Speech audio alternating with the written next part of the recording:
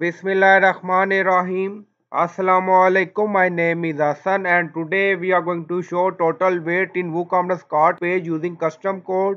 Before starting work, it's my request please subscribe my channel. Thank you. Now back to our work. So we will add custom code. So go to dashboard, scroll down on left side you see plugin. So click on add new. Then in search plugin write WP code. So this is plugin WP code insert header and footer we will use so you will install this plugin and activate it. And after activation scroll down. On left side you see code snippet. Then you see add snippet. So click on it.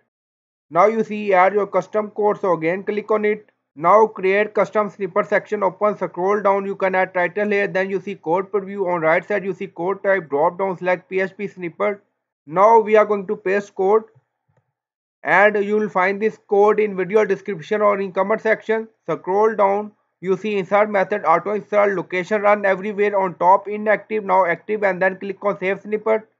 Now snippet created and save so go to cart page and refresh the page.